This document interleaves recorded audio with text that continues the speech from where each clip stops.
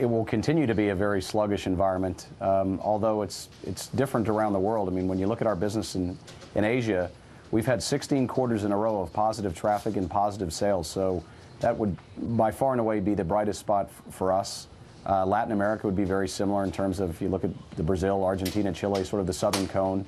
Uh, the two most sluggish parts for us would be the U.S. and Western Europe. Both of those uh, really unemployment and underemployment weighs heavily uh, on the environment there. Okay, so talk to me about uh, what was said on the conference call. Burger King sees flat to marginal increase in uh, fiscal year 2011 earnings. When do you think Burger King might be able to break through and see some increases in sales and earnings?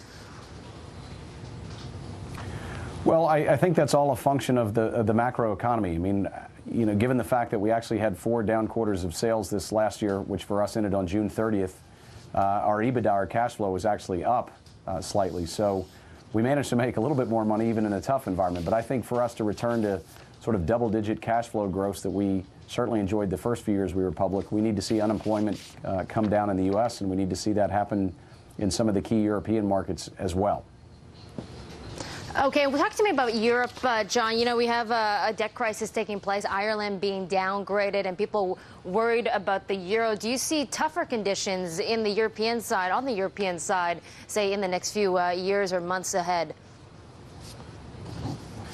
Yes, I, I, do, or at least I worry about that. I mean, given a lot of the austerity programs a lot of governments have put in place, you know, I think about Ireland, the UK, Spain, a lot of the safety nets and safety programs that have been uh, reduced, I, you know, I worry that's going to have impact, obviously, on, on uh, consumer sentiment or consumer confidence, uh, and will potentially, you know, hurt sales as well. So I, I think we've got a few challenging quarters, at least, in front of us in that part of the world.